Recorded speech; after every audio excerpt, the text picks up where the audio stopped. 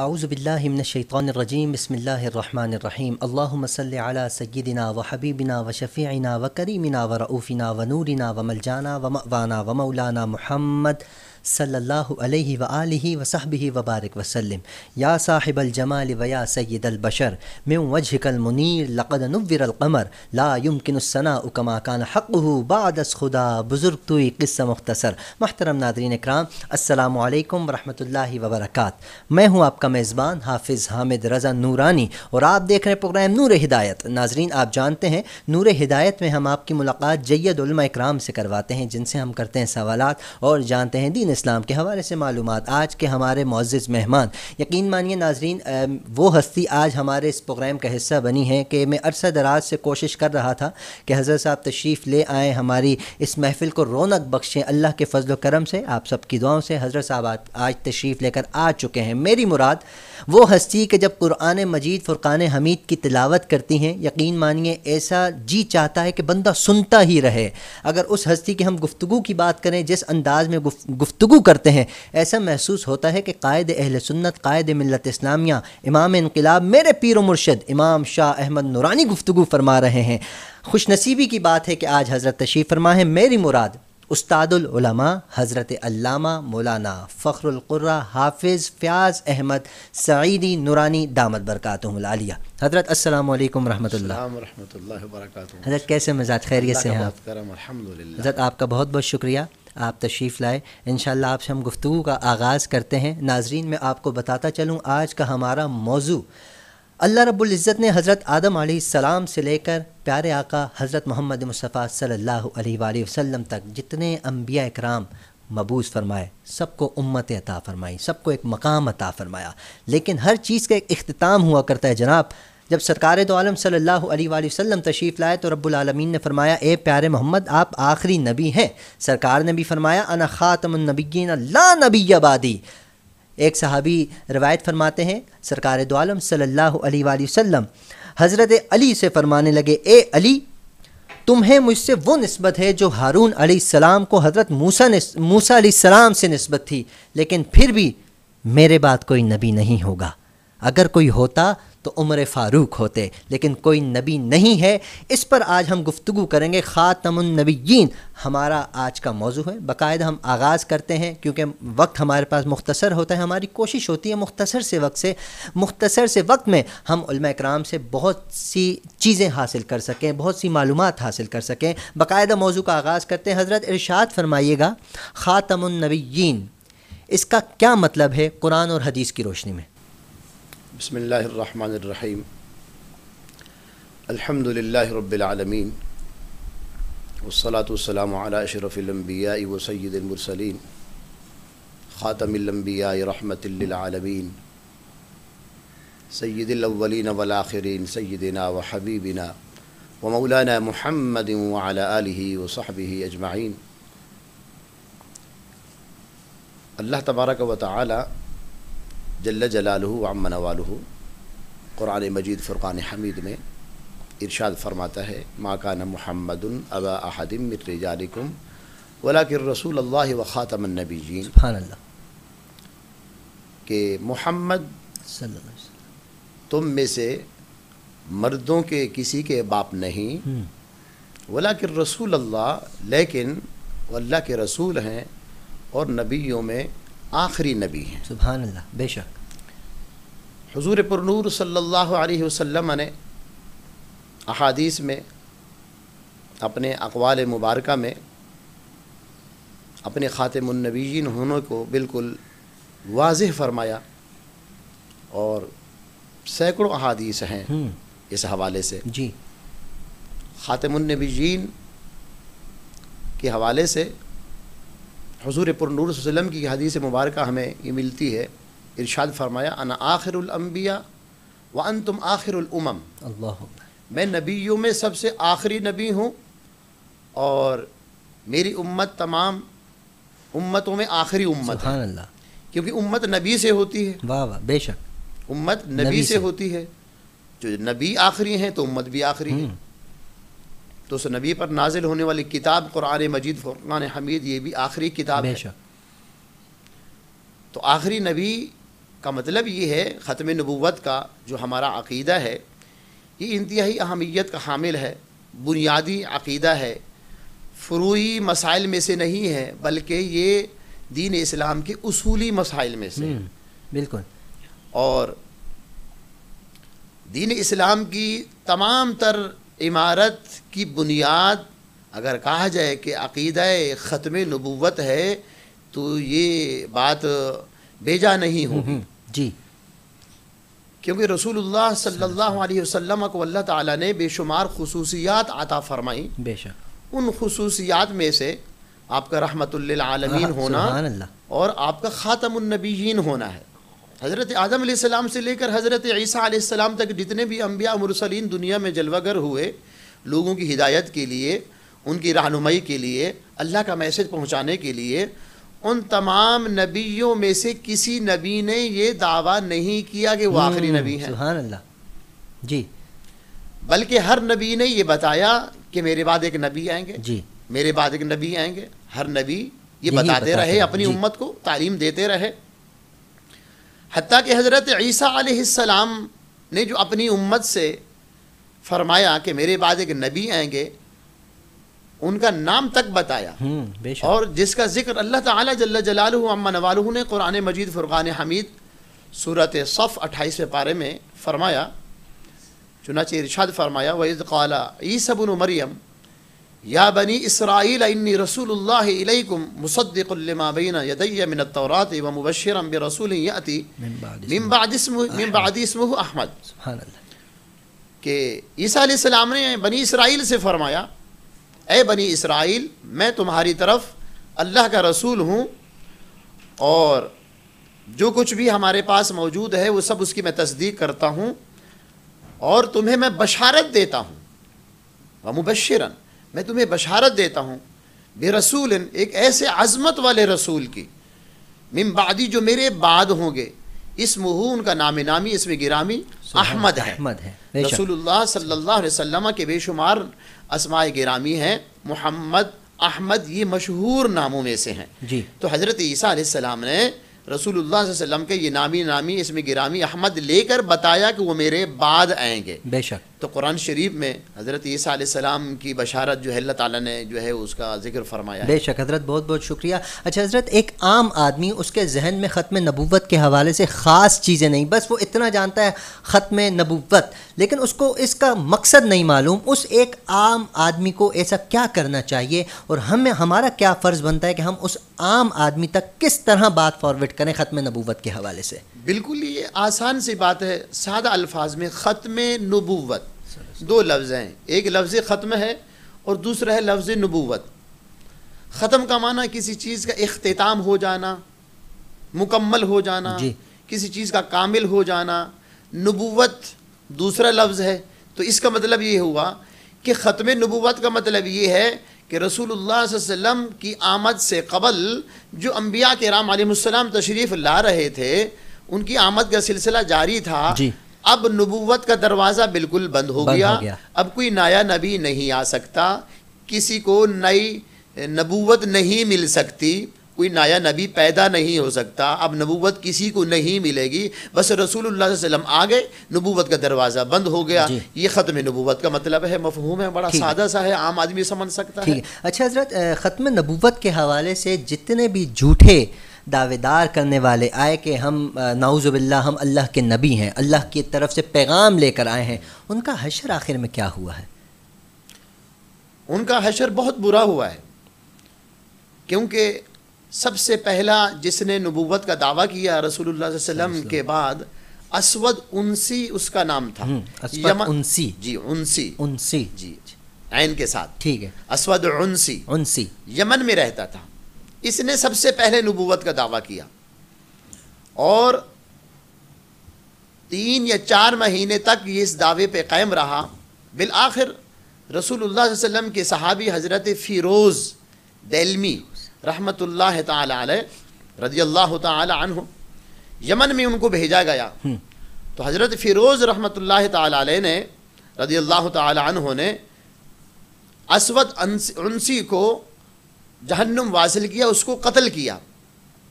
जब सहाबा ने यह खबर देने के लिए एक सहाबी को मदीना शरीफ भेजा ताकि वहाँ जाके बता दें कि असवद उनसी जो झूठा मुद्दई नबूवत था उसको कत्ल कर दिया है फ़िरोज़ दैलमी ने।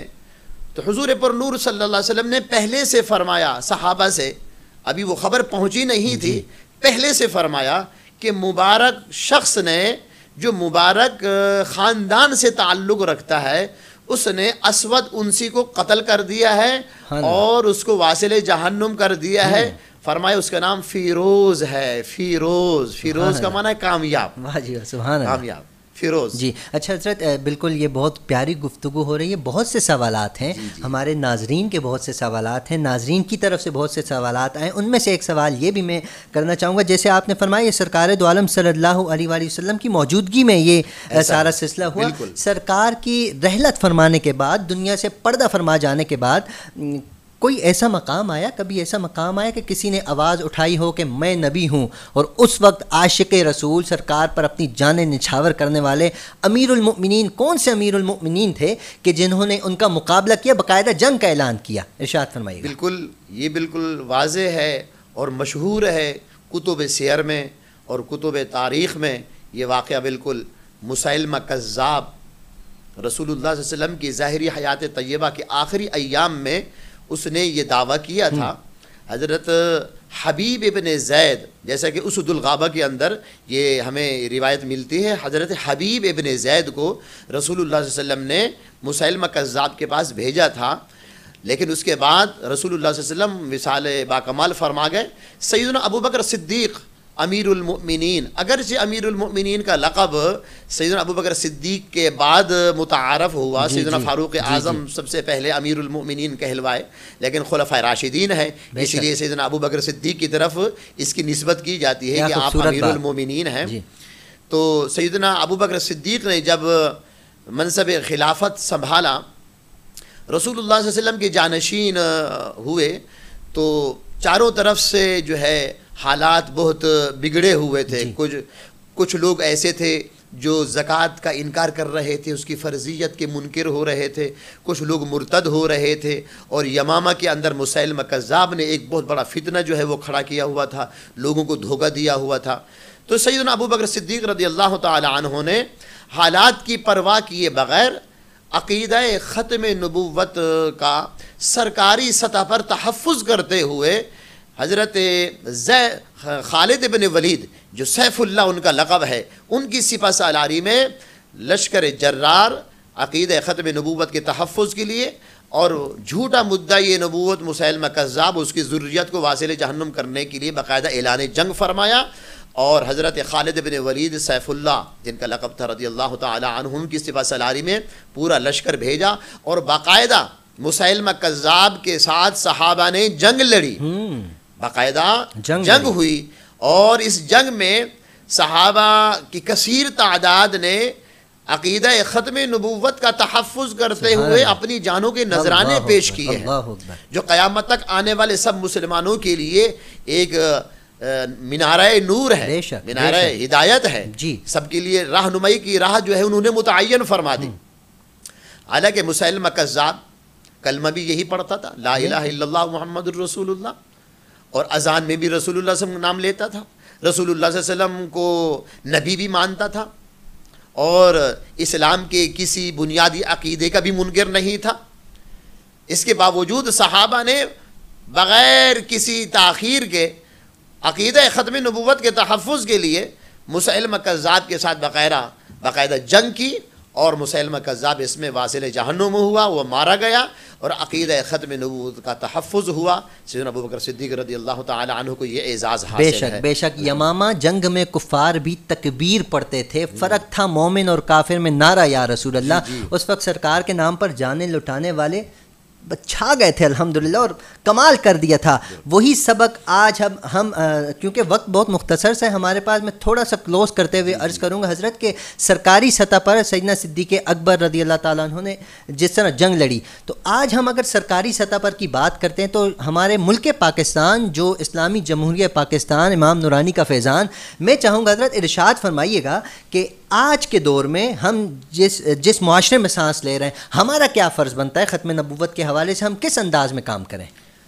सबसे पहली बात तो ये है कि अल्लामा शाह नूरानी सिद्दीक रहमत ताला की अनथक मेहनतों के नतीजे में पाकिस्तान की कौमी इसम्बली ने मुतफ़ा तौर पर मुनकरीन ख़त्म नबूत को, गैर मुस्लिम अकलीत करार दिया कादियानियों को तो चाहिए ये था, अब भी तमाम लोगों पर हुक्मरानों पर और तमाम इदारे वालों पर ये ज़िम्मेदारी है कि जो आइन पाकिस्तान का है हम्म। उस आइन को एक्सेप्ट करना चाहिए कबूल करना चाहिए लेकिन कादियानियों ने आज तक उस आइन को कबूल नहीं, नहीं किया, किया जो कि एक मुल्क के साथ अगर गद्दारी कहा जाए तो बेजा नहीं है हम्म। क्योंकि जिस मुल्क में जो रह रहा है उस मुल्क के आइन को एक्सेप्ट करना चाहिए तो इस हवाले से हुक्मरानों की सबसे बड़ी ज़िम्मेदारी ये है कि अकीद ख़त्म नबूवत का वो सरकारी सतह पर तहफ़ का बाकायदा अहतमाम रखें। ज़रूरी है। बिल्कुल। और उसके साथ साथ जो है जो मुनकरीन ख़त्म नबूवत कलीदी अहदों पर हैं तो ये हुकूमत की ज़िम्मेदारी है इदारों को ये देखना चाहिए उन कलीदी अहदों से इन मुनकरीन ख़त्म नबूवत को हटा देना चाहिए क्योंकि ये वतन अज़ीज़ मुल्क पाकिस्तान के लिए भी नुकसानदेह है और इस्लाम के ख़िलाफ़ भी एक साजिश है और मुसलमानों को धोखा देने के मुतरदफ है। और अवामनास को ये चाहिए कि ज़्यादा से ज़्यादा ख़त्म नबूवत के हवाले से उनमें लिटरेचर जो है वो तकसीम किया जाए और प्रोग्राम्स किए जाएँ। सोशल मीडिया बिल्कुल आज़ाद है उसमें। इस हवाले से जो है वो ज़्यादा से ज़्यादा मवाद पेश किया जाए ताकि हमारे आवाम खसूस नौजवान हमारी नस्ल वो आगाही हासिल करें। अच्छा जो इस वक्त महीना चल रहा है सितंबर का तो सात सितंबर के हवाले से मैं चाहूँगा कोई रोशनी इशाद फरमा दीजिए कि सात सितंबर को क्यों अहमियत हासिल है? पाकिस्तानी अगर हम तारीख़ उठाएँ तो सात सितंबर को अहमियत हासिल क्यों है? किस वजह से हासिल है? वो इशाद फरमाइएगा। बहुत अच्छा सवाल किया हाफिज़ हामिद साहब आपने कि सात सितंबर जो है खसूस पाकिस्तान में ये तारीख़ बड़ी अजीम तारीख़ है और इसमें बड़ा अजीम कारनामा सर हम्म। अंजाम दिया गया। वो ये कि जमीयत पाकिस्तान के प्लेटफार्म से कामयाब होने के बाद कौमी इसम्बली में जब अल्लामा शाह मंदूरानी सिद्दीकी रहमत ताला और दीगर के राम जी जी। जैसे अल्लामा अब्दुल मुस्तफ़ा अलाजरी रहमत अमजीदिया के शेखुल हदीस थे हम्म, दीगर लोग थे। जब पहुँचे तो हज़रत ने सबसे पहला काम जो है वो ये किया क्योंकि ये मुल्क जो है पाकिस्तान इस्लाम के नाम पर हासिल हुआ। ये नज़रियाती ममलुकत है। रसूलुल्लाह के जो है वो मदीना तय्यबा पहली नज़रियाती ममलुकत है। उसके बाद पाकिस्तान दूसरी नज़रियाती ममलुकत है। इस हवाले से पाकिस्तान के अंदर हज़रत ने सबसे पहले तो पाकिस्तान का नाम उसके अंदर इजाफा किया इस्लामी जमहूरिया पाकिस्तान। क्या पाकिस्तान का मज़हब जो है वो सरकारी मज़हब मतलब ये एजाज हमें हासिल है हमें हासिल है। अल्हम्दुलिल्लाह। अहल सुन्नत के उलमा ने कभी भी आवाम अहल सुन्नत को मुसलमानों को ऐसे मौाक़े पर मायूस नहीं किया। अल्लाह क्या बात बेशक। मायूस नहीं किया। तो हज़रत ने बड़े दानिशमंदी के साथ इस काम को आगे बढ़ाया मुसलमान की तारीफ़ शामिल करवाई और उसके बाद जो है यहाँ तक के मुसलमान की ऐसी मुतफ़ तारीफ़ हज़रत ने पेश की। तीस जून उन्नीस सौ चौहत्तर को हज़रत ने पाकिस्तान की कौमी असम्बली के फ्लोर से सबसे पहले कादियानियों को गैर मुस्लिम अकलीत करार देने के लिए करारदाद पेश फरमाई और दो महीने मुसलसल बहस मुबासा होता रहा। दो महीने मुसलसल बहस मुबासे के बाद बिल आखिर तमाम अरकान कौमी असम्बली पाकिस्तान के तमाम अरकान ने उस करारदाद को मुतफ़ा तौर पर सात सितंबर उन्नीस सौ चौहत्तर को मंजूर कर लिया। और ये बाकायदा ऐलान हुआ कि कादियानी गैर मुस्लिम हैं शरान तो थे ही लेकिन पाकिस्तान के आइन के मुताबिक भी उनको गैर मुस्लिम अकलीत करार दिया गया। इस हवाले से सात सितंबर का जो दिन है मैं ये समझता हूँ जिस तरह छः सितंबर का दिन दिफा पाकिस्तान हम्म, है हम्म। तो सात सितंबर का जो दिन है वो दिफा ख़त्म नबूवत और दिफा पाकि दिफा इस्लाम का दिन जी दिफा ईमान दिफा इस्लाम क्या बात इस्लाम का दिन है। बेशक। अच्छा हज़रत मैं मुख्तसर सबक में चाहूँगा एक इंसान है उनके साथ खाना पीना उठना बैठना मुसलमान कलमा पढ़ने वाले सरकार सरकार के नाम पर जाने लुटाने वाला। अगर वो थोड़ा सा नरम दिल रखे नरम लहजा रखे उनके हवाले से क्या इर्शाद फरमाएँगे? देखिए हमारा इस्लाम जो है वो अकलीत के साथ गैर मुस्लिमों के साथ आदाब या मजलिस के जो अखलाकियात हैं हमारा इस्लाम दर्ज देता है। बेशक। जी कारोबार तक की भी इजाज़त देता है। लेकिन जहाँ तक दोस्ती कलबी मोहब्बत अकीदत है वो हमारा इस्लाम मना करता है। कि दोस्ती है तो अपनों से लगानी चाहिए जो मुसलमान है। गैर मुस्लिम से कादियानियों से दोस्ती नहीं लगानी चाहिए इसलिए कि वो मुसलमानों के भी खुले दुश्मन या, हैं। खुले दुश्मन है इस्लाम के और बिलखसूस पाकिस्तान के भी खुले हम्म। दुश्मन हैं। इस हवाले से हमारा इस्लाम जो है अखलाकियात का दर्ज देता है जहाँ तक एक हद है उस हद तक। जी। बिल्कुल। लेकिन दोस्ती, कल्बी, मोहब्बत की इजाज़त नहीं देता। कुरान शरीफ की बहुत सारी आयात है इस हवाले से। वो ठीक है, हज़रत, आपका बहुत बहुत शुक्रिया। आपने बहुत खूबसूरत अंदाज में एक मैसेज दिया। आवाम तक अल्लाह रब्बुल इज़्ज़त से दुआगो हूँ कि अल्लाह पाक हमारा, हमारी ये काविश कबूल फरमाए। उम्मीद करता हूँ, हज़रत, आप आइंदा भी तशरीफ़ लाएँगे। हमारे प्रोग्राम का वक्त अख्ताम की तरफ़ है। नाजरीन, आप सबसे गुजारिश है, अपना ख्याल रखिए, अपने अहलो अयाल, अपने पड़ोसी, अपने रिश्तेदार, सब का ख्याल रखिए। और वीनस टी वी की पूरी टीम को अपनी खसूसी दुआओं में याद रखिए। असलकम वरहमल वबरकू